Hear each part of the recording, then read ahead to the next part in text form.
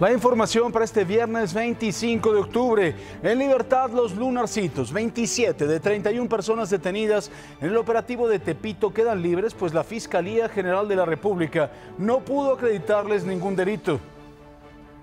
El presidente López Obrador asegura que México peleará por la vía legal los recursos que se obtengan de propiedades de narcotraficantes para que no salgan del país. Así lo dice.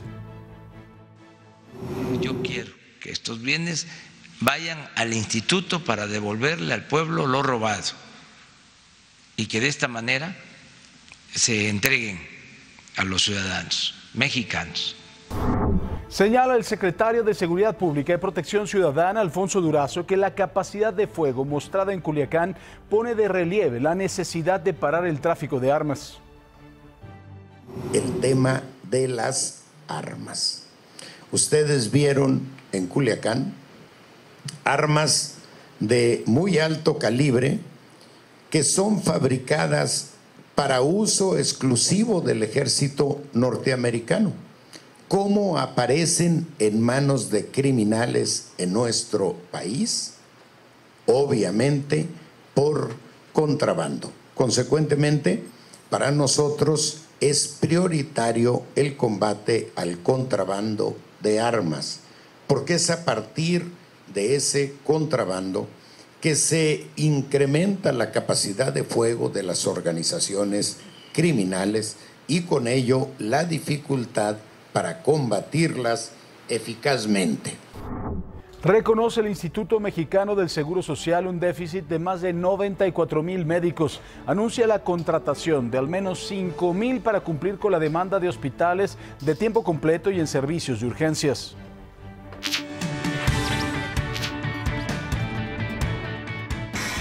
Por el delito de desaparición forzada fue detenido el presidente municipal de Jalapa de Díaz junto con otras nueve personas. Según la Fiscalía de Oaxaca, las capturas se lograron tras un operativo entre fuerzas estatales y federales. La Policía de la Ciudad de México prepara un dispositivo de seguridad y vialidad por el Gran Premio de México 2019. Más de 5.000 uniformados se encargarán de cuidar a asistentes y participantes del evento, el cual se realizará en el Autódromo Hermanos Rodríguez desde hoy y hasta el domingo.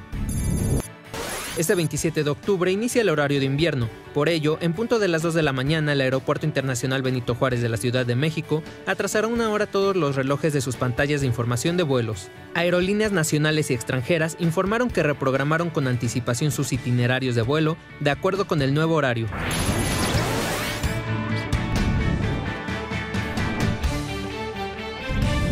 Señoras, señores, ¿cómo están ustedes? Muy, pero muy, muy, muy buenos días. Es un placer saludarlo, por supuesto. Tenemos dos horas y piquito de toda la información de México y del mundo en el mundo. Quique Villanueva, Quique, buenos días. ¿Cómo estás, Paco? Muy buenos días. Oye, pues siguen las cosas mal y de malas en Sudamérica. Ahora nos vamos a Venezuela, donde opositores se movilizaron en solidaridad con el estado de Zulia, uno de los más castigados por los apagones y la escasez de gasolina. Además, el oficialismo protagonizó una concentración en contra de la injerencia imperial en alusión a las presiones de Estados Unidos para sacar a Maduro del poder. Claro, no tuvo nada que compararse con la manifestación que hubo ayer en Insurgentes, en donde 25 encapuchados trataron de mejorar las cosas en Chile, pero bueno, Venezuela también está celoso. Ni hablar. Ya hablaremos de eso también. Por supuesto, el señor Roberto López Olvera. Robert, buenos días. Muy buenos días, Paco, Quique, qué gusto saludarles, familia, muy buenos días. Los saludo con la información deportiva. Y es que le cuento, Rodrigo Álvarez de Parga confirmó que dejará su cargo como presidente de la Junta Directiva del Club Universidad Nacional después de hablar con Enrique Graue, rector de la UNAM. Así que sacaba una era en Pumas, muy criticado, trabajó muy bien en temas de infraestructura, de fortalecimiento de las instalaciones del club, pero bueno, en el tema del primer equipo, muchos aficionados de Pumas haciendo fiesta porque se acabó la era del señor Rodrigo Ares de Parga. Vamos a ver ahora qué sigue con Pumas, querido Paco. Pues bueno, ojalá que, que, algo bueno, ¿no? Porque creo que es un equipo de toda la tradición, con muchos aficionados. Que se rescate la cantera y que se le dé, por supuesto, fogueo a jóvenes talentosos mexicanos y no traigan bultos del extranjero. ¿Sabes qué va a ser muy bueno para Pumas? Que va a perder este fin de semana con Eso yo, yo creo que sí. Ay, pónganle apuesta. Tú... Pónganle emoción. Bueno, yo ¿Le vas a Pumas? No, no, no, Querétaro, Ah, bueno. Si no, estábamos preparando el cheque Sí, rosa. sí, sí, sí. cómo no. Marlene Stahl, Bueno. buenos días. Muy buenos días, Paco. Buenos días, compañeros. Y muy buenos días también allá en casa. Y en Imagen Espectáculos les cuento, ya fueron sentenciados a siete años de cárcel los dos sujetos que asaltaron a nuestro compañero Gustavo Adolfo Infante hace ya un año. El hecho ocurrió cuando el conductor circulaba por la alcaldía Miguel Hidalgo y pues bueno, un año después por fin se hace justicia y siete años para este par de ratas asquerosas que vemos ahí en estas imágenes. Y Gus, pues bueno, gracias a Dios todo O sea, bien hasta y la no pasó mayores. abrieron los Sí, sí, sí. malditos infelices Y rateros. mi Gus que es bien miedoso, caray. es un amor. Saludos. Gus. miedoso, mi Oye, por Gus. cierto, no está en el programa de primera mano Mónica Noguera porque está en el congreso de eh, el congreso que está haciendo Hospital Ángeles en Guadalajara. Así que Está con el jefe máximo. es correcto. Oh, Con el mismísimo patrón de patrones. Vi una Así foto en redes sociales y dije, oh, qué guapos están todos. Muy bien. Y sí. Samantha Robles, buenos días. Muy buenos días, Paco, Marlene, Quique, ¿cómo estás? Me Bien, encanta bien, mi vestido por la sí, forma en la que me viste. No me quedaría tan bien, pero ¿Qué, qué, ¿Cómo viste?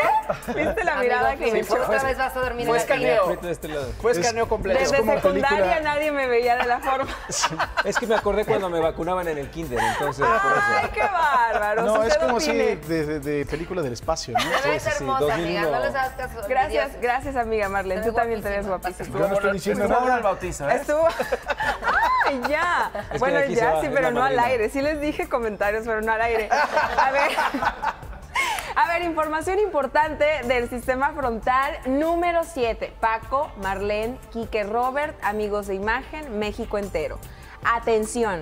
Frente frío número 7 de la temporada va a dejar ya las primeras nevadas en zonas altas de Sonora, Chihuahua, Coahuila, Nuevo León, Tamaulipas y va a ingresar con una gran masa de aire polar detrás de él que va a modificar todo este fin de semana desde el norte, noreste, oriente y centro del país y todas las lluvias acumuladas en el sureste mexicano, además de lo que está muy al occidente del Golfo de México, ahí se mantiene un sistema que pudiese evolucionar a ser una depresión tropical, todavía lo tenemos desde hace días, pero lo tenemos en vigilancia, está dejando lluvia en Texas y hacia la costa de Tamaulipas. Entonces, cuidado, viene el Frente Frío 7, ese sí va a generar cambios importantes. です。Muy No quiero frío. No, sí, qué bonito. Ya, yo quiero que nieve, por favor. Tú imagínate, si vive en Tampico no quiere frío, pues claro. Sí, yo nunca Pobre- tuve ni pobre agua mujer. nieve, Sí, nada. Nieve nada más en el súper. Bueno, y se cumplió una semana de los lamentables hechos ocurridos en Culiacán. La ciudad ya se recupera, la vida nocturna vuelve. Incluso se realizó un concierto con un lleno casi total. Ya una semana de lo que sucedió, pues bueno, ¿qué fue lo que sucedió? Exactamente, en Culiacán le tenemos la cronología el día de hoy. Y en este momento, 5 de la mañana con 56 minutos.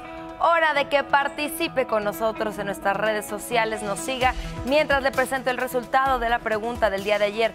¿Qué hace propenso a un policía para que sea corrompido por alguna mafia? Mire lo que opinaron los mexicanos, el 52% nos dijo que el dinero, el 20% las amenazas y el 28% la falta de ética. Hoy nuevamente, arroba imagen sea en Twitter e Instagram y en Facebook Imagen Noticias con Francisco Sea. Y dígame, ¿Cómo le viene el final del horario de verano e inicio del horario de invierno? Platique con nosotros utilizando el hashtag Abre los Ojos y díganos si le beneficia, le perjudica o le da igual. Son las 5 con 57. Quédese hasta las 8 de la mañana con toda la información. Hacemos una pausa y volvemos.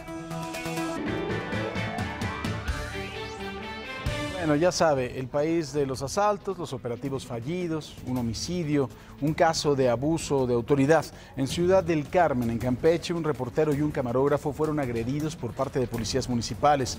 Estos periodistas acudieron a las instalaciones de Pemex por una supuesta amenaza de bomba. A su llegada, elementos de la Guardia Nacional y municipales les pidieron que no se acercaran y que se retiraran. Al final fueron detenidos y llevados sin ninguna justificación al Ministerio Público, en donde estuvieron 45 minutos y después fueron liberados.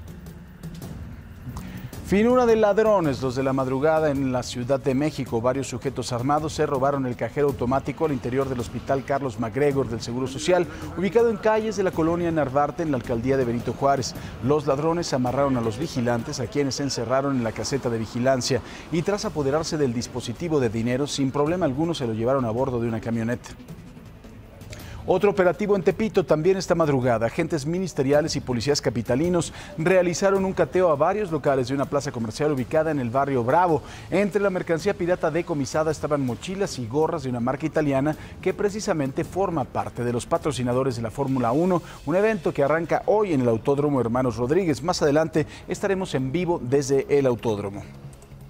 La justicia en México pronta y expedita. Ayer el juez Felipe de Jesús Delgadillo Padierna, sobrino de la diputada de Morena Dolores Padierna, dejó en libertad a 27 de los 31 detenidos en el operativo que se llevó a cabo el pasado martes en Tepito para detener a El. Delgadillo Padierna dijo que su detención fue ilegal y hubo falsedad en los informes de los policías capitalinos, quienes además habrían ejercido violencia en contra de cinco mujeres detenidas. La verdad es que hay que reconocerle a este juez que es muy justo, ¿no? Dejó en la cárcel a la misma Rosario Robles porque en un principio le habían mostrado una licencia que había sacado en otro estado y que esto era, además de todo, indicativo de que podría darse a la fuga. De estos infelices a los que les, de, bueno, les decomisaron 2.5 toneladas de droga, deja 27 libres de 31 detenidos. Digo, tenemos una justicia de asco. Ahí está el imbécil, véanlo nada más. No, bueno, ni hablar. Tras darse a conocer la noticia, fuentes de la Secretaría de Seguridad Ciudadana aseguraron que por más contradicciones que se hayan encontrado, la droga, las armas y todo lo demás asegurado, demuestran que sí hay delitos que perseguir. Pues bueno, la realidad es que, vean, los costales de droga, y este señor dice que es ilegal. Pero eso sí, a Rosario Robles, que no me simpatiza nada, ¿eh? No tiene, pero nada de simpatía. Pero finalmente a la señora, que la verdad no creo que tenga ningún peligro de que se fugue, la deja en la cárcel y a 27 de 31 los deja libres el señor. Ay, ay, ay, pues qué bonita familia, diría Pompín Iglesias, Dolores Padierna, el señor de las ligas, raterazo, ¿no? Con el dinero en los portafolios, las talegas de, de billetes en los bolsillos, están libres la señora Rosario Robles, que creo que además de todo tiene cuentas con la justicia, tiene que, por supuesto, estar sujeta a proceso, pero está también tras las rejas. Y 27, 27 infelices de Tepito, de este, pues bueno, de esta misma banda del mismo Lunares, están libres gracias a este señor, que es un adalid de la justicia. De Tepito nos vamos hasta Culiacán, en donde una semana de aquel jueves negro, la gente regresa a la normalidad. Los habitantes de Culiacán están recuperando su ritmo de vida. Las calles se observan más transitadas, incluso el desarrollo urbano Tres Ríos, donde hace una semana se registró el enfrentamiento. Las personas han regresado a los restaurantes y a la vida nocturna. La verdad es que estoy muy contenta de que pues pasaron las que tenía que pasar, pero ya Culiacán es el mismo. Pues sí, ya regresamos a, a la normalidad, ¿no? ya está más tranquilo ahorita Culiacán, ya podemos salir. Incluso, después de la cancelación de varios espectáculos, anoche se presentó el primer concierto con un lleno casi total.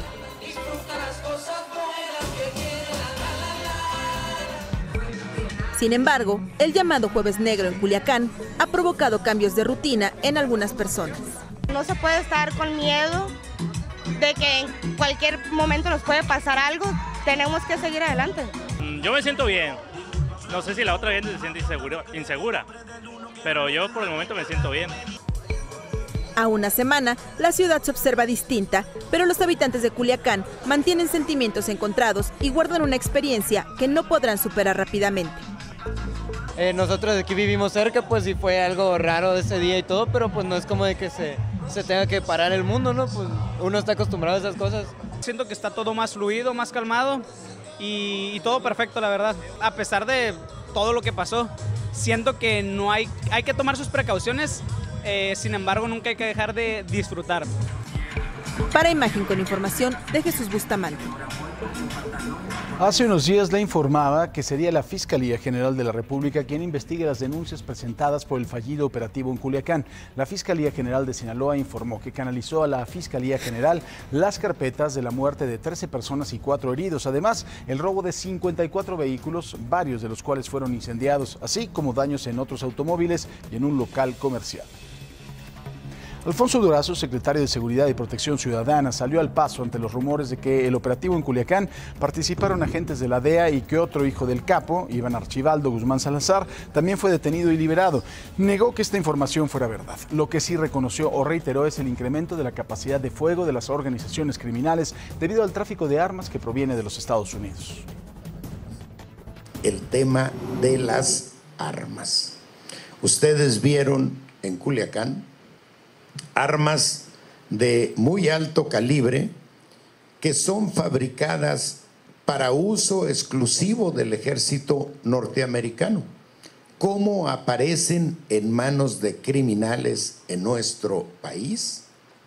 Obviamente por contrabando. Consecuentemente, para nosotros es prioritario el combate al contrabando de armas, porque es a partir de ese contrabando que se incrementa la capacidad de fuego de las organizaciones criminales y con ello la dificultad para combatirlas eficazmente. Se dio a conocer más información sobre lo que ocurrió aquel jueves negro 17 de octubre. Todo parece indicar que los militares no detuvieron a Ovidio de manera fortuita. El operativo habría sido planeado desde hace cinco meses, pero todo se salió de control.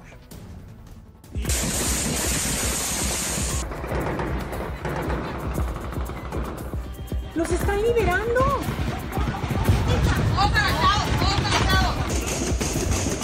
Hay una fuerte balacera. Hay muchísimos soldados, miren, allá. Pasaban las 2 de la tarde cuando el círculo de seguridad de Ovidio Guzmán fue sorprendido por 140 elementos de la División Antidrogas de la Guardia Nacional y un grupo de militares que viajaron a Culiacán exprofeso para el operativo de detención. Una vez que tuvieron la certeza de la localización del hijo del Chapo Guzmán, solicitaron el apoyo de 100 soldados de la novena zona militar para establecer un cerco de seguridad en el desarrollo urbano de Tres Ríos. Todo esto sin darles detalles de la operación. El grupo antidroga sabía que varios de los sicarios al servicio del cártel de Sinaloa eran soldados desertores de la zona militar de Culiacán. Querían evitar cualquier fuga de información. El operativo se preparó desde al menos hace cinco meses. Efectivos federales se infiltraron en Culiacán, alquilaron casas en el desarrollo urbano de Tres Ríos. Fueron vecinos de la residencia de la mujer de Ovidio Guzmán. El 17 de octubre, con la comprobación de que Ovidio Guzmán había ingresado a la residencia en la que se encontraba su mujer y sus dos pequeñas, echaron a andar el operativo. Lo cercaron y establecieron dos cordones de seguridad alrededor de la residencia y pidieron al Ministerio Público Federal que solicitara una orden de cateo para culminar la detención, la cual nunca les llegó. De acuerdo con el articulista Jorge Fernández Menéndez, cuando el Comando Federal rodeó la vivienda le pidieron a Ovidio Guzmán que se entregara, mientras esperaban la orden judicial y cuando éste trató de negociar su detención en el garage de la casa, le tomaron las fotografías que se difundieron el día del operativo, al tiempo que él se comunicaba con su gente y pedía un abogado.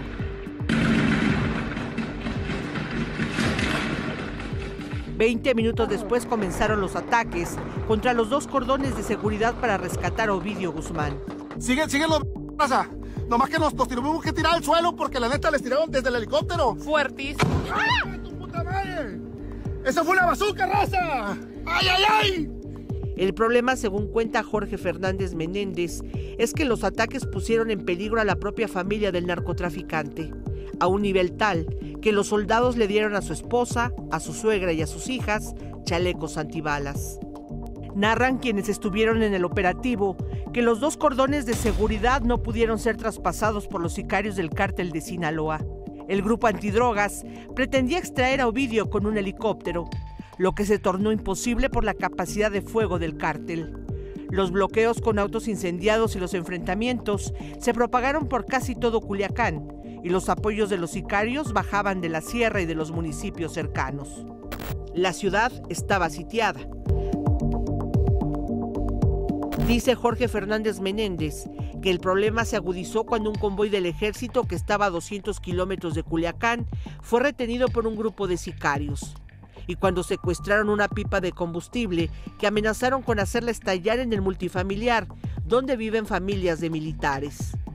A esto se sumó la evidencia fotográfica de un militar secuestrado, la orden de cateo que nunca llegó, una falta de coordinación entre las fuerzas de seguridad y alguien que decidió cuatro horas después que lo mejor era abortar la misión. Aunque Ovidio Guzmán fue liberado, su cártel también cometió errores. No detectó el operativo a tiempo, puso en riesgo a uno de sus líderes y a su familia. Aún así les dio tiempo para alertar a la población civil. Probablemente, no, no se asusten ni que nada, porque vienen de, de, de, de, Fuerte, vienen los delincuentes, ¿no? Entonces el que se pueda ir, pues se Más información en Oaxaca. Ayer elementos de la Fiscalía General del Estado detuvieron al alcalde de Jalapa de Díaz, a su comandante de la Policía Municipal y a otras ocho personas por su presunta participación en el delito de desaparición forzada. Su detención se llevó a cabo durante un operativo en donde seis casas fueron cateadas de forma simultánea. Hablando de funcionarios corruptos e integrantes del crimen organizado, el presidente López Obrador dijo que buscará mediante la vía legal que los recursos que se obtengan de propiedades de narcotraficantes en territorio mexicano no salgan del país. Esto tras las intenciones de los fiscales de Estados Unidos sobre ocho propiedades de Rafael Caro Quintero. Sí, eh, en todos estos bienes se va a procurar que se queden en México y eh, en todos los casos se van a emprender juicios para que este, estos bienes no eh, se trasladen o lo, los recursos que significan estos bienes, el dinero que signifiquen estos bienes, no eh, se fugue de México, que no se vaya de México. Eh, yo quiero que estos bienes vayan al instituto para devolverle al pueblo lo robado y que de esta manera se entreguen a los ciudadanos mexicanos y en particular a la gente más pobre. Eso lo vamos a llevar a cabo.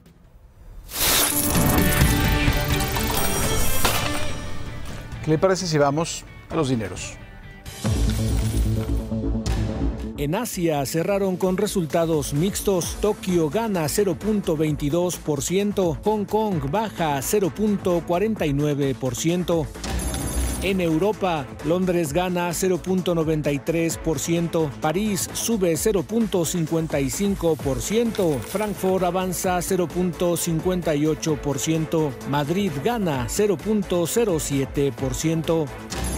América abrirá de la siguiente manera. El Dow Jones 26.805.53 puntos. El Nasdaq 8.185.80 unidades. La Bolsa Mexicana 43.776.60 puntos. Los billetes, el dólar, 18 pesos con 60 centavos a la compra y 19 pesos con 42 centavos a la venta. El euro, 20 pesos con 52 centavos a la compra y 21 pesos con 62 centavos a la venta. Petróleo, el West Texas 56.23 dólares por barril, el Brent del Mar del Norte 61.67 dólares por barril. La mezcla mexicana 48.64 dólares por barril. La aceleradora de negocios china Toyo llega a México y propone apoyar el crecimiento nacional e internacional de pequeñas y medianas empresas locales. Los responsables de la firma mencionaron que el mercado chino está interesado en distintos productos, servicios y cultura, por lo que no hay razón para pensar que las empresas mexicanas no serían exitosas en su país. Toyoy afirma que buscan apoyar ideas innovadoras para que crezcan en México y también tengan presencia en China, la segunda economía más importante del mundo.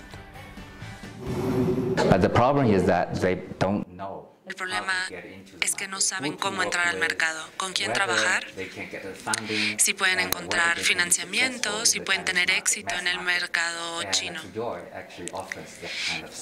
Y de hecho, Tujoy les ofrece ese tipo de soluciones. Les ayudamos a las empresas a trabajar juntas, traemos innovación de, de un país externo hacia China y les ayudamos a trabajar juntos para ser exitosos. Secretario de Hacienda, Arturo Herrera, afirmó que el paquete fiscal 2020 ofrecerá mayores herramientas al servicio de administración tributaria que van a permitir aumentar la recaudación sin aplicar más impuestos, además de alinear los códigos tributarios y de ingresos con estándares globales. Entrevistado por David Páramo en Imagen Radio, el titular de Hacienda afirmó que las propuestas fiscales no son ocurrencias. Y una cosa que habíamos hecho nosotros pensando que, nos anticipamos a que pudiera tener interés y que fuera motivo de debate, pusimos en los documentos el listado de los países en los que ya existen estas prácticas para, que para que tanto los contribuyentes como los legisladores se dieran cuenta que en realidad no eran ocurrencias, estas son prácticas ya estándares a nivel internacional y lo que nosotros estamos alineando son los códigos tributarios y en materia de ingresos con estas prácticas. Y en noticias del mundo, en Venezuela, opositores se movilizaron en solidaridad con el estado de Zulia, uno de los más castigados por la escasez de gasolina.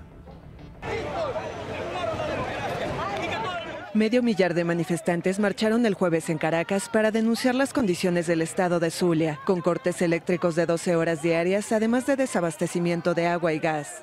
Los opositores al gobierno se movilizaron recordando que la región fue una de las más pujantes del país por su riqueza petrolera. El jefe parlamentario Juan Guaidó, reconocido como presidente encargado por medio centenar de países, no asistió a la marcha pese a ser uno de los convocantes, pero envió un mensaje de apoyo a través de Twitter. La lucha es en la calle, la lucha es con presión, la presión política, la presión social, la presión institucional, la presión militar, la presión internacional. Presión y presión hasta que Maduro se vaya para el carajo. Aunque se esperaban manifestaciones en otros estados, la participación fue modesta y en Maracaibo, capital de Zulia, la gente continuó enfocada en abastecerse de combustible y demás bienes básicos. En paralelo, cientos de oficialistas se congregaron en el centro de Caracas contra la injerencia imperial en alusión a las presiones de Estados Unidos para sacar del poder al presidente Nicolás Maduro. El chavismo también protagonizó una concentración encabezada por Diosdado Cabello, presidente de la Asamblea Constituyente que rige el país con poderes absolutos. Yo no puedo negar, porque sería hipócrita, que siento una gran, un gran frescor cuando veo que los pueblos comienzan a levantarse. No puedo negarlo, no, no lo niego. Al contrario, yo apuesto a que los pueblos se levanten en cualquier rincón del mundo. La escasez se acentuó tras un embargo petrolero de Washington impuesto en abril. El país atraviesa la peor crisis de su historia reciente con una caída en su vital producción de crudo y una inflación estimada por el Fondo Monetario Internacional en 200 mil por ciento para 2019. 6 de la mañana con 24 minutos. ¿Y cómo va ella? Participó en nuestra pregunta del día. ¿Cómo le viene el final del horario de verano e inicio de horario de invierno? Vamos a ver el resultado hasta este momento. El 43% nos dice que le beneficia, el 17% que le perjudica y el 40% es que le da igual. Abre los ojos, es nuestro hashtag, utilícelo y participe. A partir de este momento aquí están nuestras redes sociales. Mientras, vamos con el clima, querida Sammy Rocks.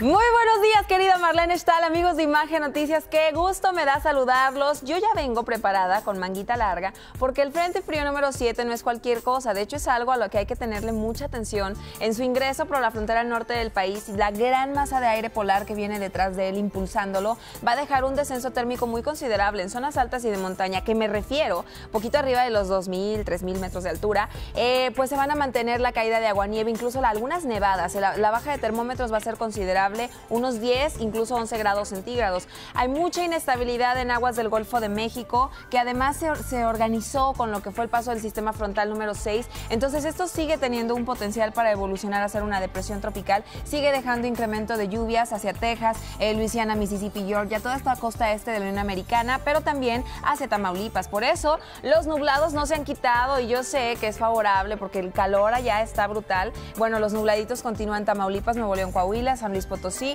se extienden en Veracruz, Tabasco, Campeche y la península de Yucatán, de igual forma Chiapas, Oaxaca, Guerrero y hasta el centro occidente. Aún está despejado la región noroeste, los cambios estarán generando por la llegada del sistema frontal número 7 y mantendremos un pronóstico de lluvia también en el centro Valle de México el día de hoy, viernes, sábado y domingo. Veamos ahora las temperaturas en la región noroeste, norte y noreste mexicano. Con cielos despejados estamos hablando en Tijuana, Baja California con 32 grados centígrados, Mexicali en los 30, Hermosillo, Sonora 33. En La Paz se van a mantener temperaturas de 31 grados, Durango se va a solamente 18 grados, además con nublados que pudiesen traer consigo chubascos, Mazatlán 32, Zacatecas llueve el día de hoy, al igual que en San Luis Potosí, Monterrey, Nuevo León, la máxima solamente en 19 grados centígrados, estamos hablando de que un frente frío está generando cambios, al igual que en Chihuahua, la máxima hoy solamente de 15 grados. Tampico, Tamaulipas, lluvia, claro que sí, también en la Ciudad de México, en Morelia, en Guadalajara, Jalisco, en Acapulco y en Vallarta, todo el centro del país y el Valle de México. Y el oriente está complicado con pronóstico de, tormentas, tarde noche a partir de las 4, ya lo sabe, Veracruz con 28 grados centígrados, lluvia también para hoy, al igual en Oaxaca, Tuxtla Gutiérrez, Chiapas, Villahermosa, Tabasco, Campeche, Mérida y Cancún, todos alrededor de 30 grados centígrados en zonas del sureste, sur y suroeste del territorio nacional, cambios de lluvia generado por ondas tropicales y bajas presiones. Y ahí viene el Frente Frío número 7. Hasta aquí el reporte, vámonos a un corte comercial y regresamos con muchísima más información aquí en Imagen Sea. No le cambie.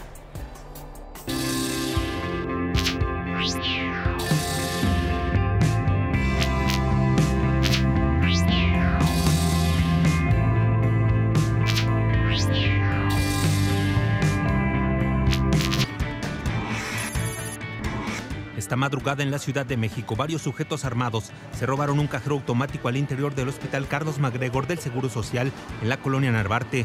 Tras apoderarse del dispositivo de dinero, sin problema alguno huyeron. Un juez de control dejó en libertad a 27 de los 31 detenidos en el operativo del pasado martes en Tepito. El juez señaló que la detención fue ilegal y hubo falsedad en los informes de los policías capitalinos, quienes además habrían ejercido violencia contra cinco mujeres detenidas. Alfonso Durazo, secretario de Seguridad y Protección Ciudadana, negó que en el operativo en Culiacán participaran agentes de la DEA y que el otro hijo del Chapo, Iván Archibaldo Guzmán Salazar, también haya sido detenido y liberado. En los deportes, hoy inicia la fiebre de la Fórmula 1 en México. A las 10 de la mañana comienzan las prácticas libres en el Autódromo Hermanos Rodríguez en la ciudad deportiva Magdalena Mixuca. El Gran Premio de México se correrá el próximo domingo.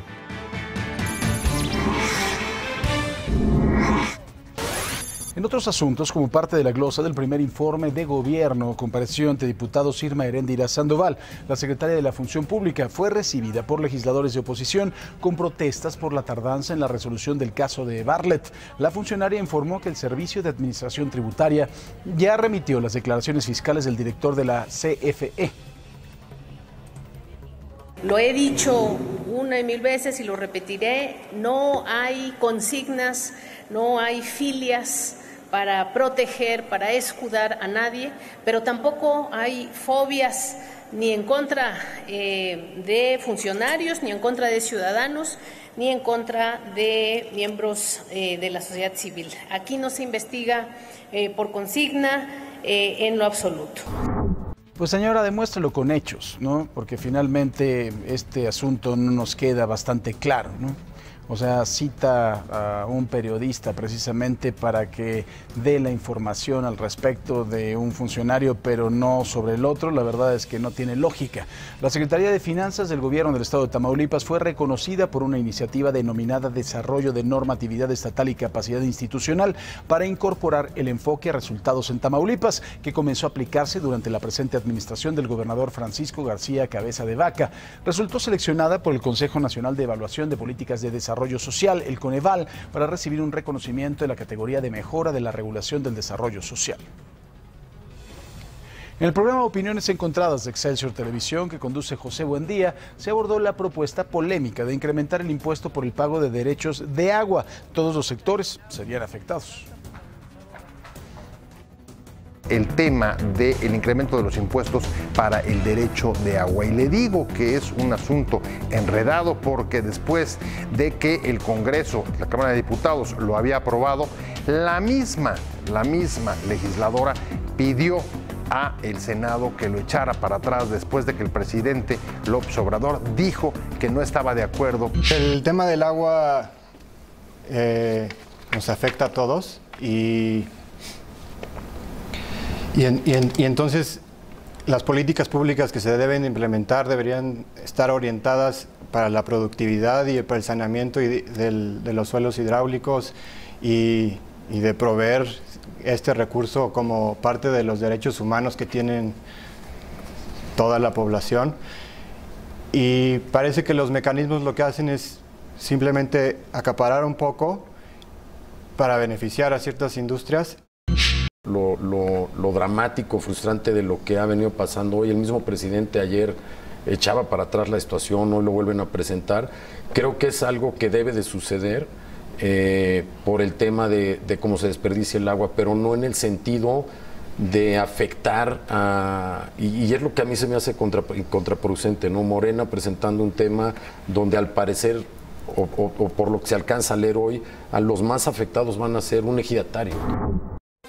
Y en Imagen Espectáculos le comentábamos que ya fueron sentenciados a siete años de cárcel los dos sujetos que asaltaron a nuestro querido Gustavo Adolfo Infante hace un año. El hecho ocurrió cuando el conductor circulaba por la alcaldía Miguel Hidalgo junto con un acompañante. La Procuraduría General de Justicia de la Ciudad de México informó que aportó las pruebas suficientes durante el juicio de los dos acusados de robo agravado, en el que además de la sentencia en prisión se les fijó una multa de 14.588 pesos por reparación del daño material. Y qué bueno que solo fue un daño material y que estás bien, Gus. Y ya todo está listo para el homenaje en honor a nuestro príncipe de la canción, José José, en el que van a participar más de 20 artistas de talla internacional. Eh, se va a llevar a cabo el día de hoy, viernes 25 de octubre, a partir de las 6 de la tarde, en el Zócalo de la capital de nuestro país y por supuesto que va a ser gratuito. Se trata de un tributo del gobierno de la Ciudad de México para el príncipe de la canción, en el que participarán cantantes como Yuri, José María Napoleón, Dulce, Mijares, Pandora, entre muchos más. Promete bastante este homenaje, seguramente será muy emotivo.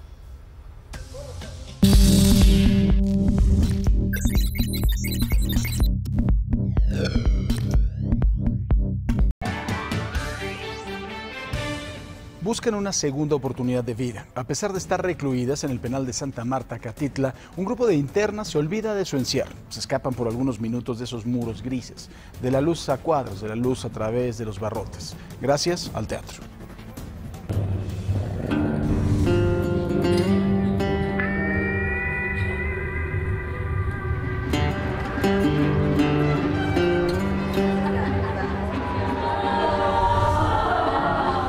Quimia Transmutación, Mujeres presas dentro y fuera de una cárcel, ese subtítulo, le escribí hace un par de años para estrenar en el Cervantino, aglutinando las historias que he conocido a lo largo de más de 15 años de trabajar en centros de reclusión. Con las chicas que hacen el personaje de Aldonza y cómo Aldonza las ha transformado y sobre todo cómo las mujeres del exterior se han transformado al ver los personajes de Aldonza. Pues ni uno ni lo otro y no quieras. Sí, aquí estuve en Santa Marta Catitla, estuve durante siete años, cuatro meses, 28 días. La verdad es que es un, crecimiento personal, es una forma de expresión, de demostrar que la reinserción por medio de la cultura sí, sí funciona, que las mujeres viven en prisión dentro y fuera de la cárcel. Yo estuve aquí 10 años y vengo a ver esa obra porque me atrae el, teatro penitenciario, es muy importante en las cárceles.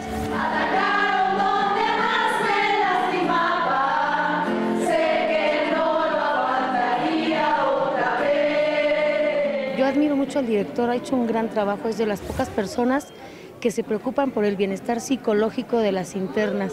Soy una hija de una, de una de las actrices que está en la obra. Está feliz y le gusta actuar mucho. Antes yo iba en ballet y pues actuaba y pues sí me sentía igual que ella, feliz. Hoy puedo contar con la dicha de poder ver a ese bebé mi trabajo era precisamente poner a estas personas a disposición por algún delito, por alguna acusación directa.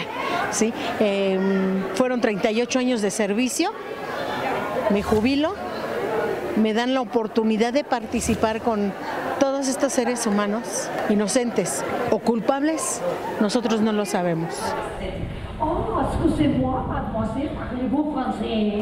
El ambiente, eh, los niveles de violencia, los niveles de hostilidad se reducen a través de la práctica del teatro. En este caso, sobre todo es teatro con mucho mensaje. Tenían mucha ilusión de, de ver las vestidas de, de, largo, de colores pastel, porque imagínate cuando llevan 10 años vistiendo de un solo color, ¿no? Y el hecho de poder vestir un vestido largo, elegante, tacones, les cambió completamente la vida en, esta etapa. Yo sentí adrenalina porque todo este tiempo que he estado aquí es puro beige, entonces cambiar a este color, pues me siento bien.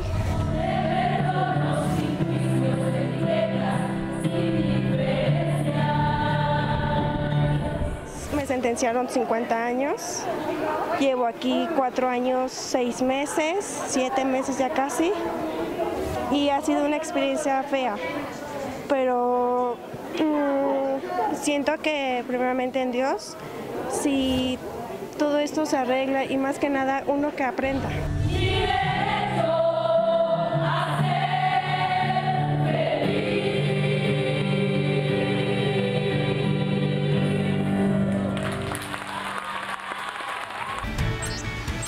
Presidente López Obrador dijo que buscará mediante la vía legal que los recursos que se obtengan de las propiedades de narcotraficantes no salgan del país. Esto tras las intenciones de los fiscales de Estados Unidos sobre ocho propiedades de Rafael Caro Quintero. La aceleradora de negocios china Tohoi llega a México y propone apoyar el crecimiento nacional e internacional de pequeñas y medianas empresas locales. El mercado chino está interesado en distintos productos, servicios y culturas como las de México. En el marco de la celebración del Día del Médico, el IMSS anunció la creación de 10.000 nuevas plazas para médicos, esto para cumplir la demanda del nuevo programa Hospitales de Tiempo Completo y para los servicios de urgencias. El Seguro Social opera con un déficit de 94.500 médicos. Compareció ante diputados la secretaria de la Función Pública, Irma Heréndira Sandoval. La funcionaria informó que el Servicio de Administración Tributaria ya remitió las declaraciones fiscales del director de la CFE, Manuel Bartlett.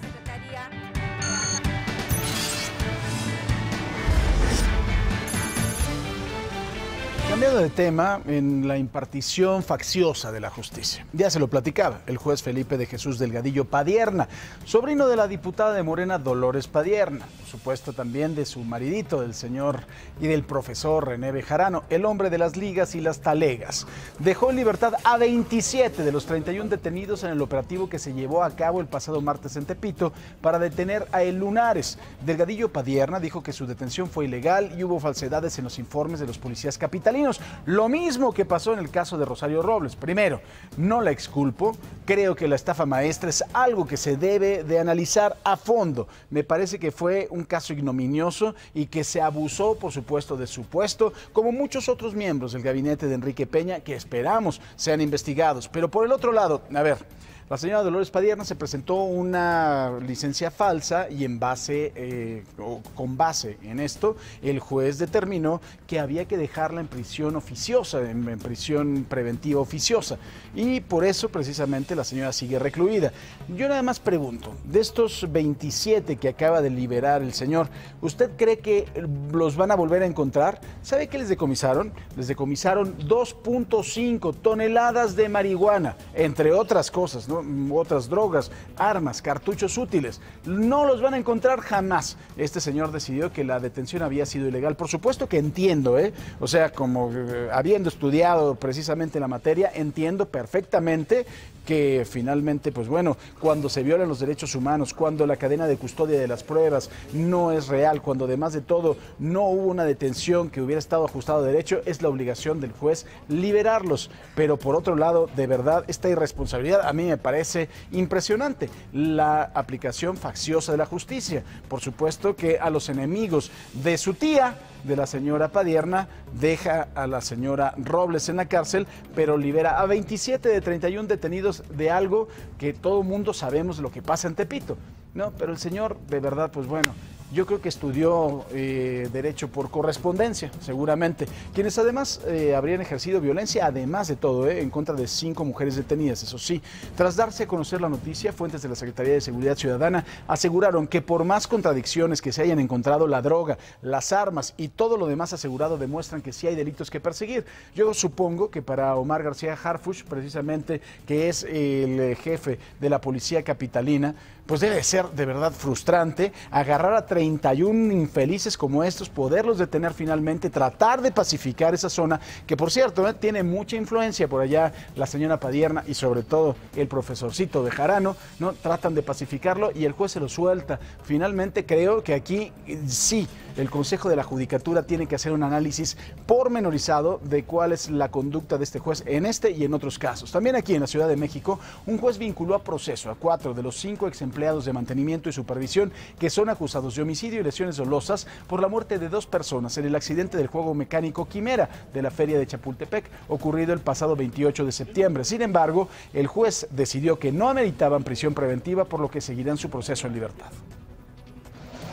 Ayer el titular de la alcaldía de Cuauhtémoc, Néstor Núñez, realizó su primer informe de gobierno. Admitió que las acciones emprendidas por su gestión aún no son visibles y todavía falta mucho para mejorar los problemas como el ambulantaje, la inseguridad. Por ello pidió paciencia a los vecinos de la demarcación. Señaló que para acabar con la delincuencia seguirá la misma estrategia que la jefa de gobierno de la Ciudad de México, Claudia Sheinbaum, atendiendo las causas sociales.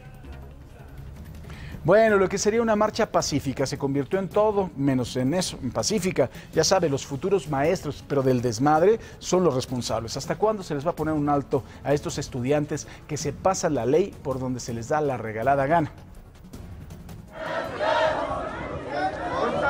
La marcha pacífica, la que convocaron y en la que participaron los alumnos de la Normal Rural de Tenería Lázaro Cárdenas del Río, organizada en las calles de Tenancingo para conmemorar los 38 años de la represión que sufrieron por parte de autoridades estatales, incluyó inmuebles vandalizados, bardas pintadas del batallón del ejército y un módulo de la policía estatal y la quema de un muñeco simulando a un militar junto a su tanque.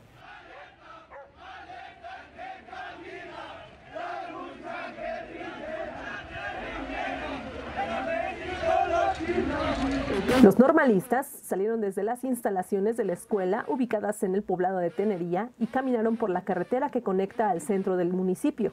Su primera parada la realizaron en la entrada principal del batallón militar que se ubica aproximadamente un kilómetro de la normal. Ahí montaron una bandera monumental en una glorieta que está a la entrada y quemaron lo que parecía ser un soldado y un tanque. Tras protestar unos minutos y rayar pintas en las bardas del inmueble, continuaron su camino sobre la misma vía para dirigirse al centro del municipio. Los alumnos corrieron en algunos puntos y aprovecharon para rayar las instalaciones de un módulo de seguridad pública estatal que encontraron a su paso.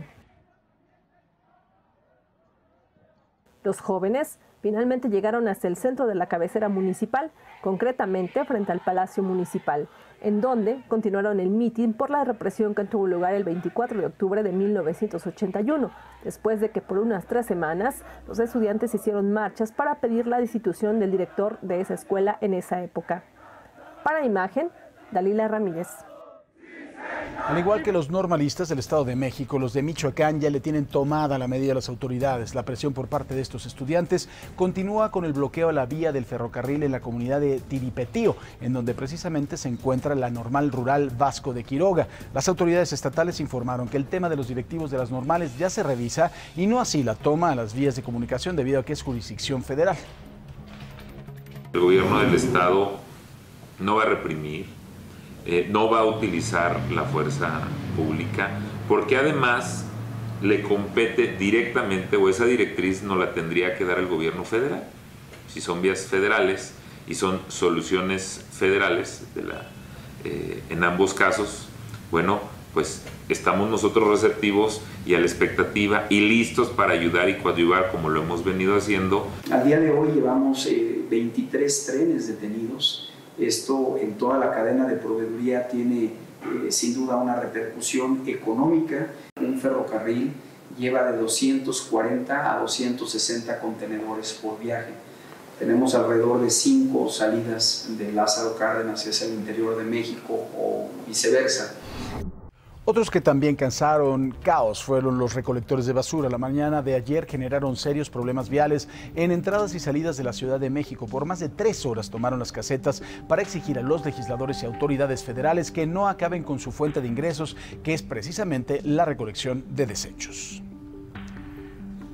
Y bueno, esto le parece poco, también hubo bloqueos por parte de chatarreros, compradores y vendedores de ferro viejo integrados a la Confederación Nacional de Industriales de Metales y Recicladores. También tomaron la autopista Toluca-Tlacomulco, así como la México-Toluca. Las filas de autos varados alcanzaron varios kilómetros de longitud. Cámara de Diputados está aprobando una, una reforma de privatizar privatizar nuestro trabajo.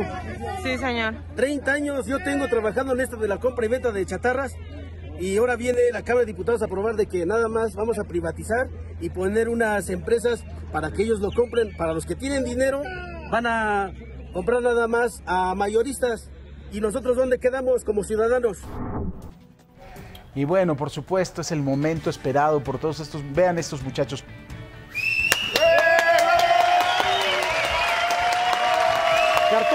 this.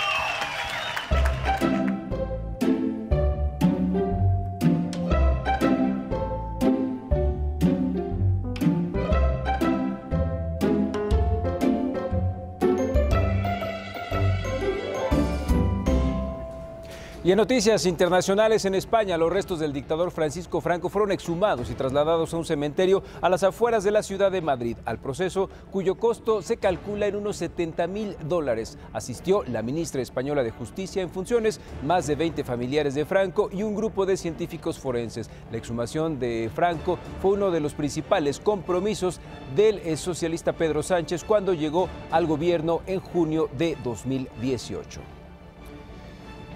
Y mire, un tribunal de Bangladesh condenó a muerte a 16 personas tras quemar viva a una joven de 19 años el mes de abril pasado. La chica identificada como Nusrat Khan Arfi había anunciado y había denunciado al director de su escuela y a dos compañeros más de acoso sexual. Sin embargo, al negarse a retirar dicha denuncia, los hombres la rociaron con queroseno y le prendieron fuego. En un momento, los involucrados intentaron hacer pasar el asesinato como un suicidio, pero por fortuna se hizo justicia para estos desalmados. Y nos vamos a Perú, donde murió a los 15 años Milagros Cerrón, mejor conocida como la niña Sirenita, de acuerdo con el padre de la menor. Milagros padecía una insuficiencia renal crónica, la cual se complicó durante la hemodiálisis que se le hacía.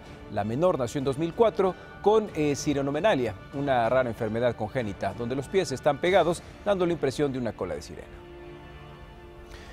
Y mire usted, usa Instagram. Le cuento que la red social anunció que vetará todos los filtros de realidad aumentada que representan o promuevan la cirugía estética. Esto en medio de preocupaciones de que perjudiquen la salud mental de sus usuarios. Entre los filtros prohibidos estarán los efectos que hace que las personas se vean como si se hubieran puesto inyecciones en los labios, rellenos o si se hubieran hecho estiramiento facial, ya que estudios sugieren que los filtros que cambian la cara puede hacer que las personas se sientan peor en su aspecto.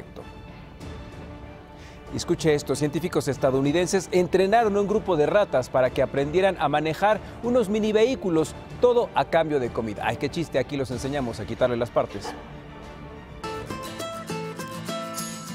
Un grupo de 17 ratas ahora es capaz de conducir estos pequeños vehículos. Científicos estadounidenses lograron entrenarlas para hacerlo a cambio de cereales. El estudio no solo muestra lo sofisticados que son los cerebros de los roedores, sino que también podría ayudar a crear alternativas no farmacéuticas para tratar enfermedades como la esquizofrenia o depresión. Kelly Lambert, autora principal del estudio, está interesada desde hace tiempo en la neuroplasticidad o la capacidad del cerebro de cambiar en respuesta a experiencias y retos. Como había sospechado, los animales mantenidos en ambientes más estimulantes se desempeñaron mejor que los de laboratorio. Además, según estudios químicos, los animales entrenados también tenían un menor nivel de estrés, que podría estar relacionado con la satisfacción de adquirir una nueva habilidad.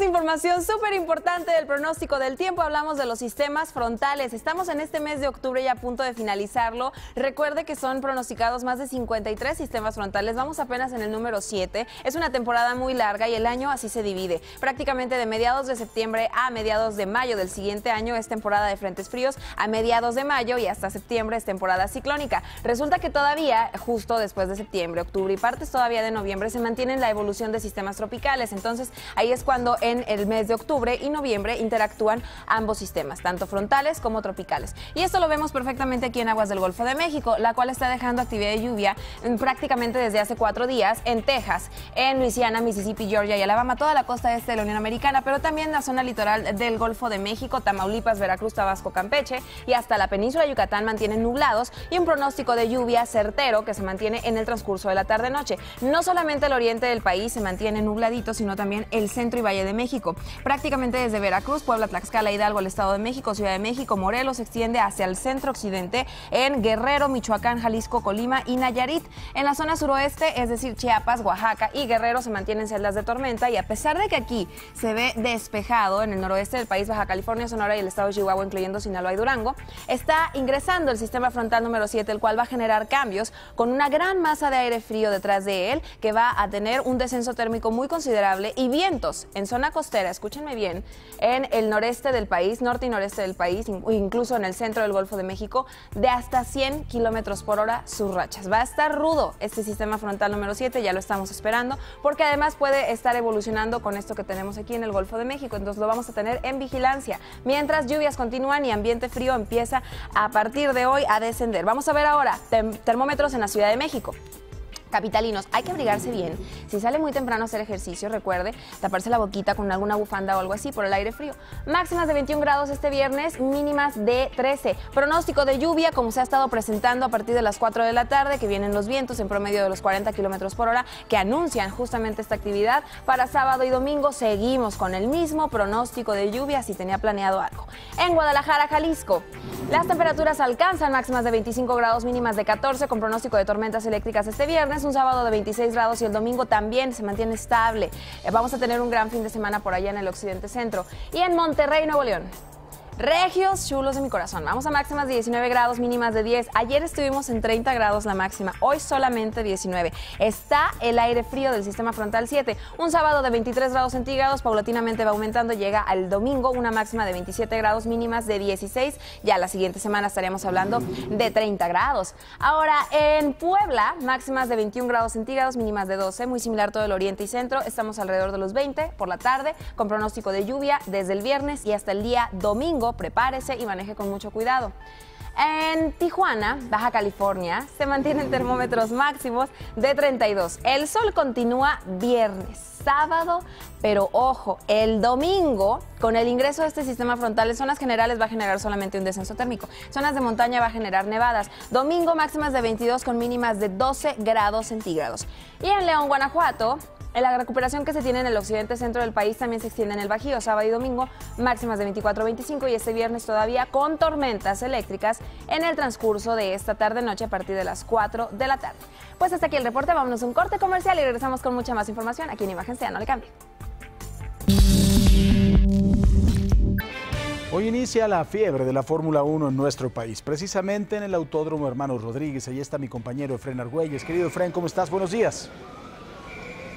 Gracias, mi querido Paco. Buenos días. Prácticamente todo está listo para el Gran Premio de la Ciudad de México. Todo lo relacionado con la Fórmula 1 está listo. Solo afinan algunos pequeños detalles aquí en el Autódromo Hermano Rodríguez, ubicado al oriente de la Ciudad de México, exactamente en la alcaldía Venustiano Carranza. Quiero comentarles que para hoy están programadas ya diferentes actividades que van a comenzar en punto de las 10 de la mañana. De 10 de la mañana a 11.30 se van a realizar prácticas hoy viernes. Posteriormente las suspende por varios minutos para retomarlas por la tarde. A partir de las 2 de la tarde y hasta las 3 de la tarde con 30 minutos, nuevamente habrá prácticas para hoy viernes para ustedes que piensan visitar el Autódromo Hermano Rodríguez. Para mañana sábado comienzan las actividades de 10 de la mañana a 11. También se van a realizar prácticas. Posteriormente durante la tarde, de una de la tarde a dos, una hora solamente de prácticas nuevamente. Y el próximo domingo el próximo domingo comenzarán todas las actividades en punto de las 11.30 de la mañana con el desfile de los pilotos y por supuesto lo más esperado, la carrera a, las, a la una de la tarde con 10 minutos. Una de la tarde con 10 minutos va a comenzar la carrera, el evento principal. Para eso está contemplado, van a participar más de 3.500 elementos de la Secretaría de Seguridad Ciudadana para resguardar a todas las personas que piensan visitar esta vez el Gran Premio que van a formar parte de esta historia, pero también para resguardar las inmediaciones de este perímetro al oriente de la Ciudad de México y tratar de agilizar el flujo vehicular. Estos elementos policíacos van a estar apoyados con 325 unidades que también estarán apostadas a lo largo del circuito interior en su tramo Río Churubusco para permitir el libre paso para aquellas personas que se trasladan hacia el Aeropuerto Internacional Benito Juárez de la Ciudad de México. Ya desde esta hora, como podemos observar, Paco, es importante la actividad que se está registrando y también tenemos que comentarles que de última hora las autoridades de esta alcaldía están realizando un operativo, lo que ustedes escuchan de fondo, las sirenas principalmente de las unidades de emergencia, son camionetas de esta alcaldía que están retirando a todos los vendedores ambulantes que han llegado desde muy temprano a colocarse aquí en las inmediaciones del Autódromo Hermanos Rodríguez. Ya está muy complicado el tránsito vehicular sobre el circuito, Río, circuito interior Río Churubusco y también aquí en las inmediaciones del viaducto Río de la Piedad, como podemos observar, ya es un caos desde muy temprano. Hay elementos policíacos quienes tratan de agilizar la circulación. Muy importante para tomar en cuenta algunas alternativas viales para las próximas horas y a lo largo de este fin de semana. Las alternativas viales son la calzada Ignacio Zaragoza, eje 1 norte, las inmediaciones del circuito interior Río Churubusco, carriles laterales en dirección hacia la zona sur para evitar los diferentes conflictos vehiculares y aunque distante el eje 3 sur para evitar los diferentes cortes a la circulación que ya se registran desde muy temprano. Es el panorama, la información, todo está listo, mi querido Paco aquí en el Autódromo Hermano Rodríguez para el Gran Premio de la Ciudad de México para la Fórmula 1. Paco. Oye, querido Fren, sí es impresionante el furor que causa, ¿eh? porque estamos hablando, son las 7 de la mañana con 25 minutos y ya hay una gran cantidad de personas y esto empieza hasta las 10. Esto empieza hasta las 10 y solamente estamos hablando de las prácticas, Paco. Hoy viernes y mañana sábado solamente son prácticas y todo lo que está generando ya desde muy temprano. Nos han informado que hay autobuses que están saliendo de las inmediaciones del Estadio Azteca, de la zona del Toreo de Cuatro Caminos y también del Aeropuerto Internacional Benito Juárez, Terminal 1 y Terminal 2, donde ya están llegando los turistas desde muy temprano y a bordo de autobuses comienzan a trasladarlos ya a esta hora aquí al Autódromo Hermano Rodríguez. Esto es el viernes. Para el próximo domingo se espera diferentes cortes a la circulación. Es importante tomarlo en cuenta porque todo esto va a ser un caos vehicular. Que vayan con tiempo, que vayan con tranquilidad precisamente para que no se sumen a este, pues bueno, a esta cantidad de tráfico. Gracias, querido Fren. Sé que es un poco complicado, Paco, pero una buena alternativa para evitar quedar atrapado en el caos vehicular es dejar el automóvil en casa y utilizar algún medio de transporte público o alguna aplicación, llegar lo más cercano posible y posteriormente caminar, porque llegar con vehículo hasta aquí realmente es complicado. Un fuerte abrazo de esto y más, estaremos al pendiente. Buenos días. Gracias, buenos días, querido Fren. Y mire, al encabezar la ceremonia institucional por el Día del Médico, el director del IMSS, Zoé Robledo, anunció que serán contratados médicos para cumplir con las necesidades de atención a los derechohabientes.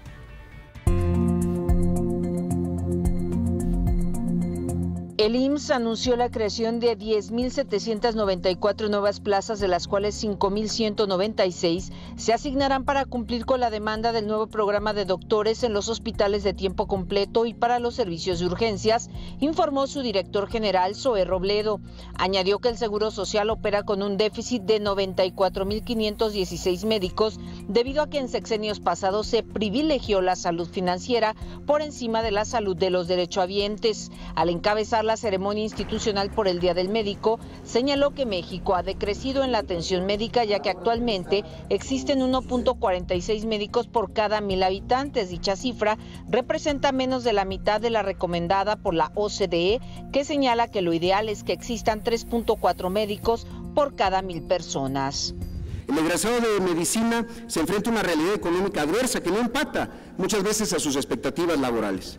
Cada año 16 mil médicos egresan de las escuelas, de las facultades y lamentablemente el sector salud no tenía abiertas la contratación directa para ellos en los hospitales por razones exclusivamente financieras. No es que no nos hicieran falta, es que se privilegiaba el número, se privilegiaba la salud eh, financiera por encima de la salud de los derechohabientes. El director del IMSS, Zoé Robledo, señaló que ante la falta de oportunidades, el mercado cooptó a una generación de buenos médicos dejándolos con mínimas oportunidades de desarrollarse profesionalmente. Antes, ser médico era una garantía absoluta de movilidad social y hoy, desafortunadamente, no lo es para todos.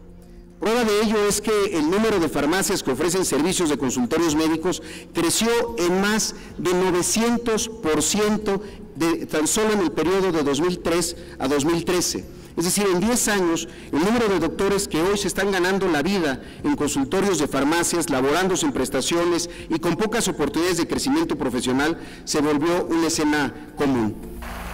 Para imagen, Patricia Rodríguez Calva.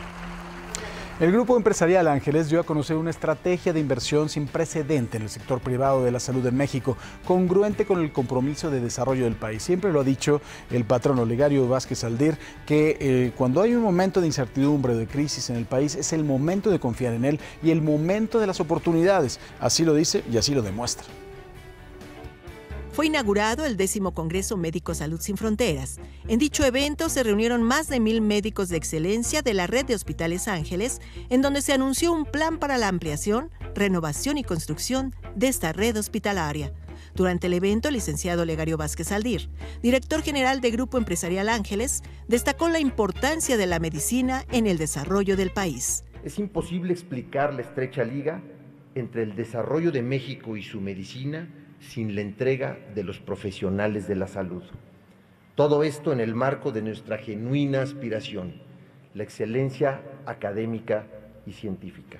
Asimismo, destacó la tenacidad y audacia de Grupo Ángeles. Tenemos la capacidad de crear nuestras propias soluciones, capacidad de atrevernos a descubrir o a inventar caminos y también audacia para recorrerlos contra todo pesimismo contra todo obstáculo, esperando que los abordemos con fe, con fortaleza y con entusiasmo. Por su parte, el presidente municipal de Zapopan, Jesús Pablo Lemos Navarro, agradeció la participación del Grupo Empresarial Ángeles y destacó. Lo que queremos consolidar es un clúster de atención médica para que pueda ser en beneficio no solamente de los habitantes del estado de Jalisco, sino que esto pueda tener una repercusión a nivel nacional. El licenciado Olegario Vázquez Aldir anunció una inversión sin precedente en el sector privado de la salud en México, congruente al compromiso que tiene con la salud en nuestro país. En este décimo Congreso Médico de Grupo Ángeles se me da la oportunidad y es un inmejorable espacio para compartirles el Plan Estratégico 2020-2023. Nosotros sí estamos invirtiendo en México.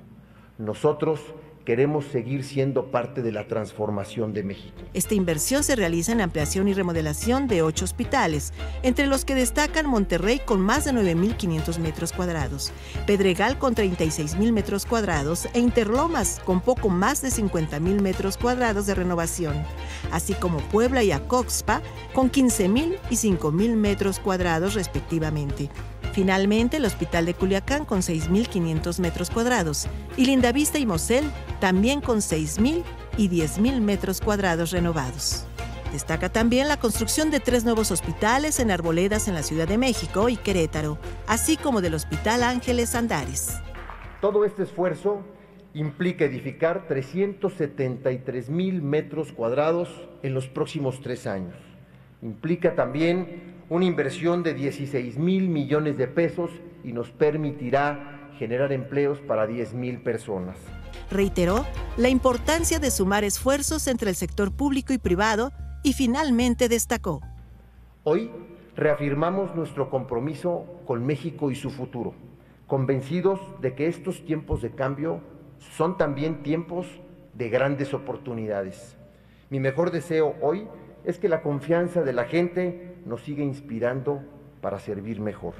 Para Imagen, Jimena Mejía. En Zacatecas, autoridades estatales de salud aseguran que han suprimido plazas de trabajo debido a la escasez de recursos. Los médicos de Zacatecas trabajan con la incertidumbre de un inminente recorte de personal, luego de que las autoridades hayan advertido que ya no hay dinero para la salud. Hemos tenido que dar de baja otro tipo de personal porque no hay recursos.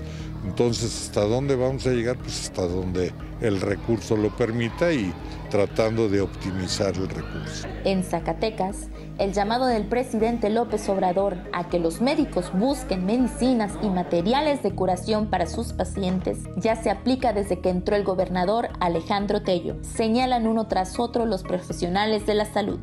Eh, la unidad no funciona, no tengo insumos materiales, no tengo nada para trabajar con los pacientes, no se me otorgó un espacio adecuado, el escritorio lo compré yo. Yo tuve que proveer la cajonera es mía, traje instrumental y aún así sigo sin poder hacer algo por los pacientes porque simple y sencillamente ni siquiera la unidad funciona.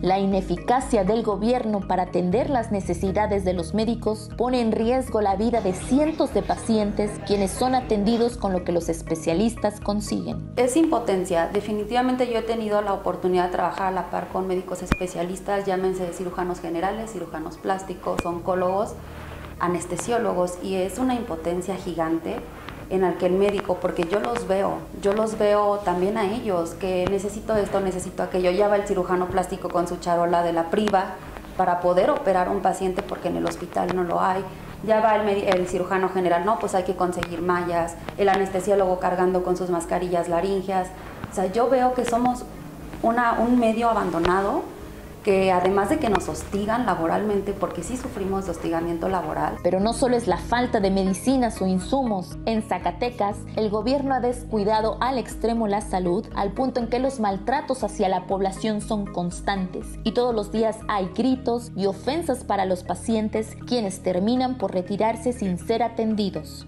Si no escuchan, hay que hablar más fuerte.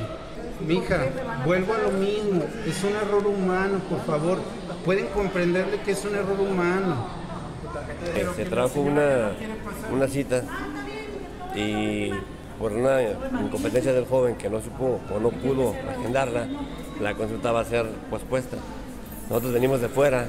Es un error humano y, es algo, mira, los pacientes ya se fueron y se van mal, se van enojados. Pues realmente le diré que no pido nada. ¿eh? Ni modo. ¿Qué podemos hacer? Del maltrato e ineficacia en la atención a la salud, los médicos culpan al doctor Felipe de Jesús Escalera y aseguran que en más de una ocasión ha dicho que las órdenes las recibe directamente desde la casa del gobernador. Él, él abusa y, sostenta y presume que le recomendó de la doctora Cristina y tocar. Y Breña le tiene pánico, no, le, no, lo, no lo puede tocar. Entonces, le hago un llamado al, señor gobernador, si realmente usted tiene al doctor Escalera en el puesto en el que está, perdón, pero el doctor Escalera pues está mordiendo la mano de quien le da de comer.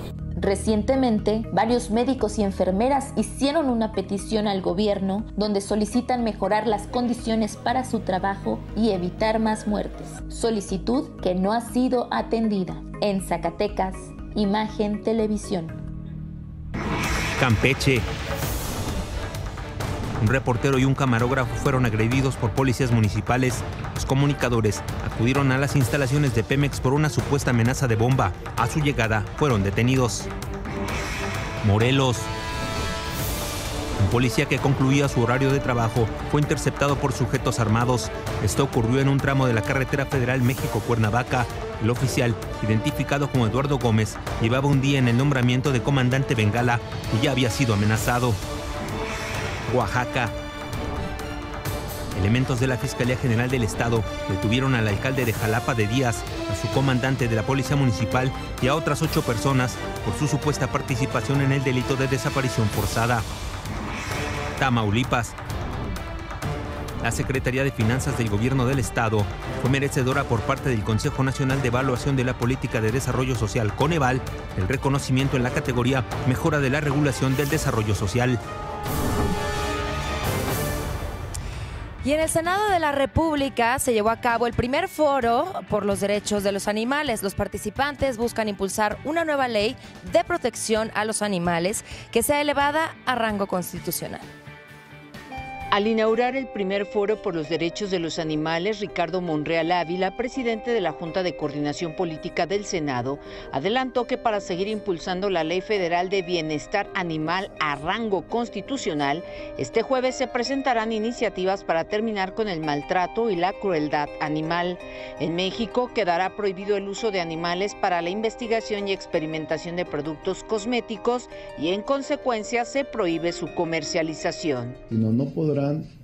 Tampoco importarse ni comercializarse productos cosméticos y en el embalaje de todos los productos cosméticos comercializados deberán indicar que en su laboratorio no se han llevado a cabo pruebas en animales de ninguna especie.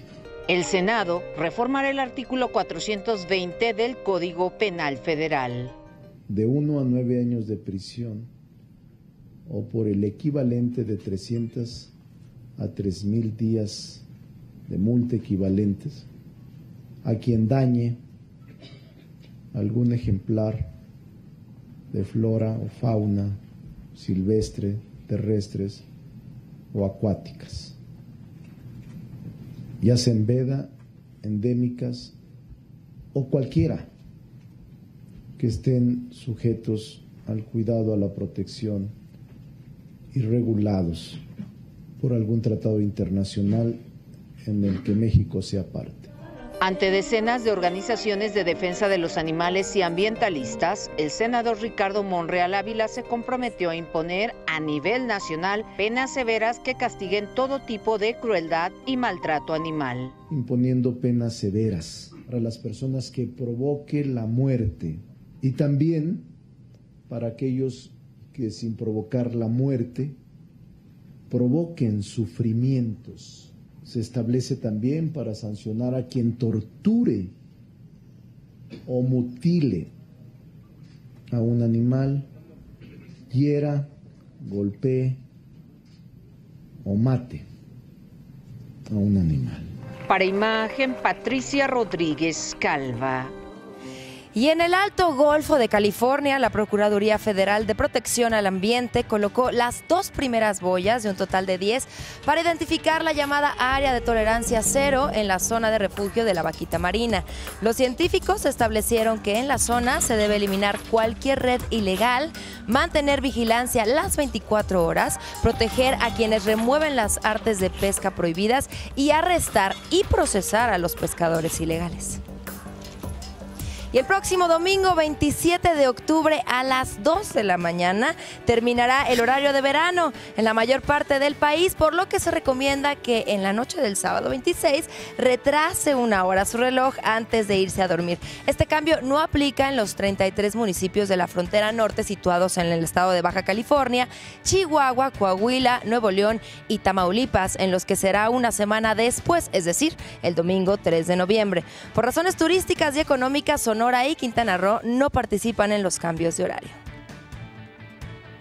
Y bueno, el Aeropuerto Internacional Benito Juárez de la Ciudad de México informó a las aerolíneas prestadoras de servicios y establecimientos comerciales que retrasarán una hora su reloj en punto de las 2 de la madrugada del próximo domingo 27.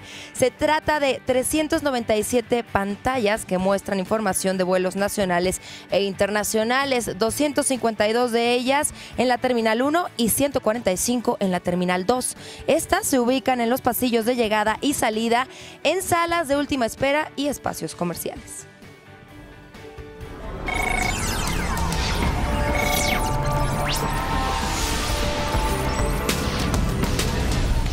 En el Estado de México se logró detener a una banda de asaltantes que robó 10 millones de pesos y asesinó a un custodio de traslado de valores. Ese grupo pensó que iba a disfrutar del botín. Tras la pista es una investigación de mi compañero Carlos Jiménez. Parecían un par de obreros cualquiera que llegaban a un banco en los límites entre la ciudad y el Estado de México. Este otro parecía un empleado de limpieza. Y detrás de él un usuario más. La realidad es que todos estos hombres formaban parte de una banda de ladrones que se disfrazó para robar a los custodios de una camioneta de valores. Son estos custodios que llegan aquí y que bajan sin mayor problema bolsas cargadas con dinero. Eran casi 10 millones de pesos en efectivo lo que llevaban ahí. De pronto observe, los ladrones sorprenden a los custodios y comienzan el atraco. Le disparan al que lleva el dinero y todos comienzan a correr. Ahí se ve un ladrón armado. Está disfrazado de policía y se lleva una bolsa cargada con billetes. Ahí se ve otro más. Es un cómplice que se lleva otra bolsa. Uno más está por salir, pero regresa por otro paquete de dinero y se lo lleva. Después todos escapan de aquí. En el lugar murió un custodio. Uno más quedó gravemente herido. Parecía un robo perfectamente planeado, pero la investigación del caso llegó hasta la Fiscalía General de Justicia del Estado de México y aquí comenzaron a rastrear a los ladrones homicidas. Analizamos los videos de la sucursal en donde apreciamos que son 11 agresores. Después pedimos apoyo a C5, quien nos va dando el seguimiento por donde se dirigió esta camioneta blanca, la cual también fue observado por varios testigos. Tras analizar los videos, descubrieron que los ladrones huyeron en esta camioneta, luego la abandonaron y escaparon en otros vehículos. Son estos que van aquí, el análisis de decenas de cámaras les permitió ubicar uno a uno y conocer no solo la ruta que tomaron para escapar, sino también las placas de uno de ellos. Gracias a ello, obtuvieron la identidad de uno de los ladrones que tiempo atrás fue custodio de valores. El propietario del vehículo Sonic color negro eh, ya que se obtiene la placa, eh, obtenemos el nombre, el domicilio. Entonces ya haciendo la investigación, esta persona trabajaba anteriormente en la empresa Seguritech. Eh, es por eso que se sabe que él es el que planea el, el robo. Con estos datos, los investigadores se dedicaron a ubicar los domicilios donde podía estar este hombre. Al mismo tiempo continuaron analizando los videos de las cámaras para saber dónde se ocultaron los ladrones. Fue así que descubrieron que huyeron hasta Tultepec, la misma zona donde aquel hombre que habían identificado tenía su domicilio. Es en este lugar, en la casa del líder de estos agresores de apodo El Negro, donde se hace la repartición del dinero que, se habían robado, repartiéndose eh, eh, los líderes 600 mil pesos y los de menor jerarquía 200 mil pesos. Los investigadores y policías organizaron el operativo de captura y así detuvieron a los involucrados en el robo. Fueron 10 días los que tardó la Fiscalía de Justicia del Estado de México en ubicar el refugio de estos delincuentes. Al momento de su captura les decomisó las armas que usaron durante el robo y parte del dinero que llevaron. Actualmente se encuentran presos en penales estatales en espera de ser sentenciados. El análisis de horas de video el seguimiento de cámaras por distintos municipios, un operativo de captura. Tras la pista, se logró detener a estos ladrones que asesinaron a un custodio por robarle 10 millones de pesos. Para imagen, Carlos Jiménez.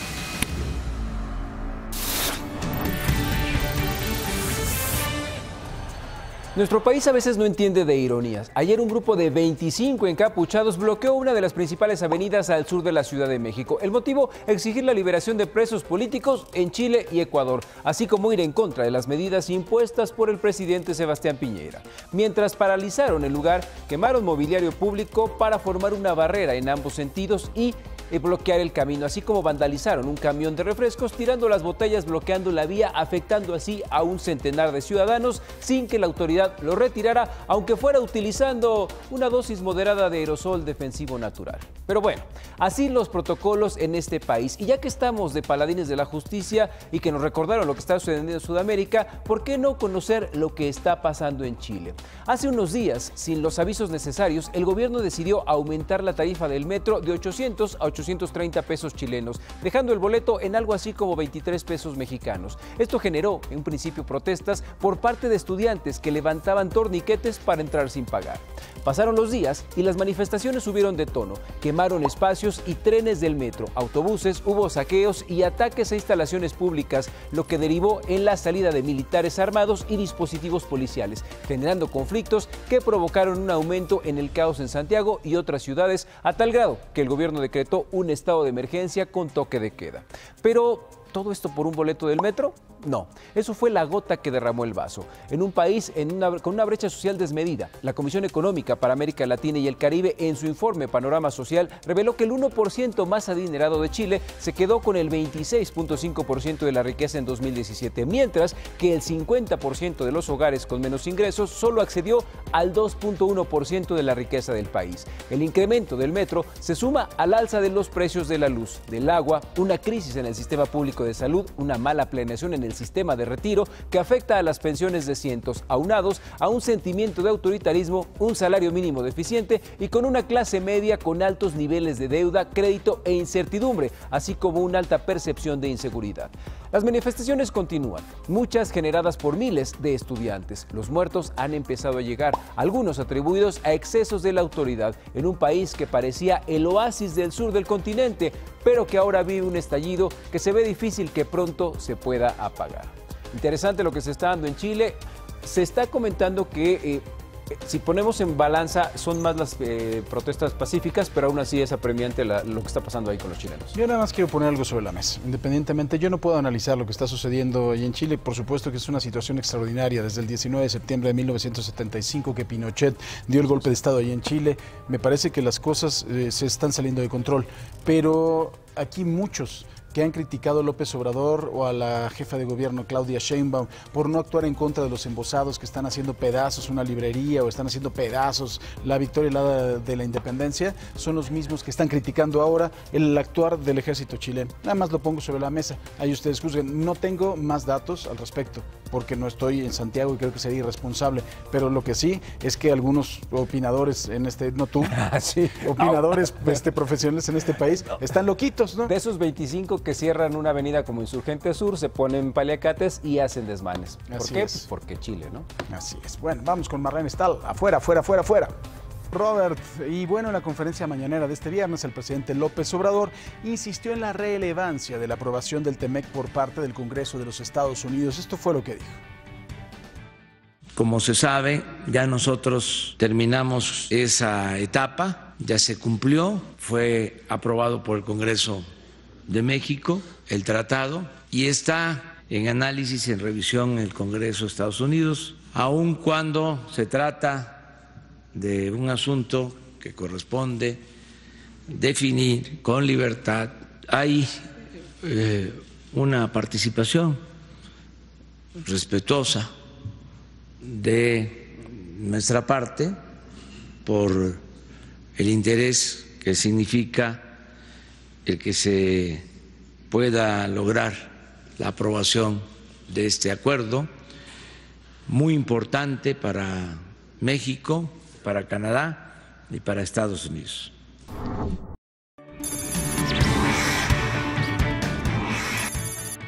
El Alto Golfo de California, la Procuraduría Federal de Protección al Ambiente colocó las dos primeras boyas de un total de 10 para identificar la llamada área de tolerancia cero en la zona de refugio de la vaquita marina. En el área tolerancia cero se debe eliminar cualquier red ilegal. En el marco del décimo Congreso México Salud Sin Fronteras, Grupo Empresarial Ángeles anunció una inversión de 16 mil millones de pesos entre 2020 y 2023 para la construcción de tres hospitales y la ampliación y remodelación de ocho más en todo el país.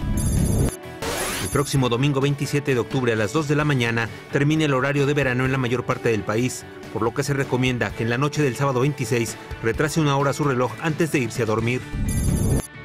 Hoy inicia la fiebre de la Fórmula 1 en México. A las 10 de la mañana comienzan las prácticas libres en el Autódromo Hermanos Rodríguez de la Ciudad Deportiva Magdalena Mixuca. El Gran Premio de México se correrá el próximo domingo.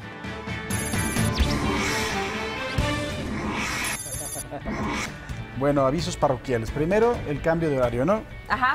Ya, el cambio de horario vamos a sufrir un poco más nosotros. Vamos a dormir menos. No, al revés, ¿no? Es al contrario. Sí. Sí, lo atrasa. Se atrasa, es cierto, vamos a ver. Es que ya va, va a llover. Llevas todo, ¿Qué llevas aquí? Un mes y ya Va- te está va- afectando la desvelada. Va a llover. Si dice que va a llover, Lo contrario. no se preocupe, vayas en shorts. Hoy va a llover, hoy va a llover, va a llover jueves, va a llover, perdón, jueves, viernes. Me va a llover el jueves, pero como fue ayer, sí llovió. ¿no? Dice que lluvia ligera. Y yo lavé el coche. Paco, Paco, estamos en vivo, no es jueves, es viernes. Ah, es bien, Sí, sí, ayer, y ayer que, que dijo que iba a llover muy ligerito, haga usted de cuenta que aquí en la zona del sur pasó un ciclón. Es más, O hay sea, que ver la quiniela de quién va a ganar, si los Astros o los Nationals, sí, ya para ¿quién va a apostarle seguro. Los, Yankees. Ok. Los Nationals, este, está, lluvia hoy, el vie- viernes, sábado y domingo. Ay, hoy es el homenaje a José José. Vamos todos, vámonos ya al Zócalo. Sí, bueno, hasta el lunes vamos a cantar José José. Sábado, señores. Sábado, Pumas, Querétaro. Va a ganar el. Querétaro. Y el lunes la 3-2. Fórmula uno. Ah, Yo no lo creo. sí,